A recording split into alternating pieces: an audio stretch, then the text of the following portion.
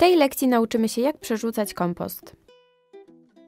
Po zbudowaniu kompostu jego temperatura będzie wzrastać. Oznacza to, że mamy do czynienia z procesem rozkładu. Po kilku tygodniach jego temperatura wzrośnie znacznie, dekompozycja będzie więc zwolniona. Możesz wtedy przerzucić kompost, aby reaktywować proces rozkładu. Pozwala to otrzymać kompost szybciej. Aby przerzucić kompost, będziesz potrzebować 4 drewniane słupki, widły do kopania, widełki ręczne, widły, narzędzie nawadniające i gałęzie. Zacznij od zaznaczenia miejsca, na które przerzucisz kompost za pomocą drewnianych słupków. Pozwolą one też utrzymać kompost w pionie. Przekop wybrane miejsce. To poprawi przepływ wody i absorbowanie substancji odżywczych przez ziemię.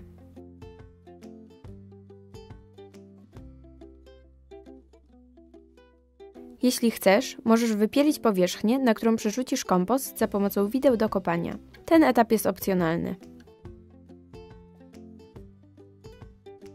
Podlej ziemię i połóż na niej 5 lub 10 cm warstwę gałęzi.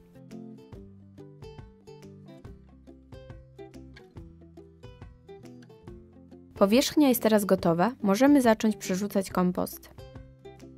Zacznij od przeniesienia górnej warstwy kompostu. Ta część jest jeszcze nie naruszona. Dół kompostu jest najlepszym miejscem na te rośliny. Będą tam mieć dobre warunki do rozkładu. Podlewaj regularnie, aby dostarczyć wilgoci i stymulować dekompozycję. Zrób to samo z materiałem znajdującym się po bokach.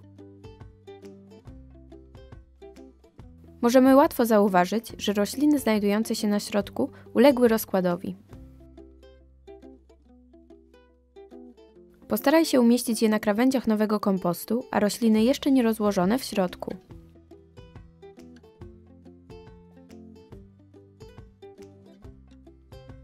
Upewnij się, że kompost jest kwadratowy. To sprzyja jednolitemu rozkładowi.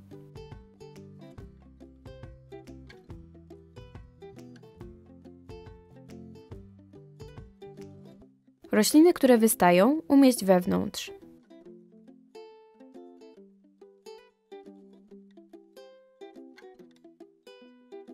Ziemia na miejscu pierwszego kompostu będzie bardzo żyzna. Nie trzeba więc dodawać do niej kompostu przed sadzeniem na niej roślin.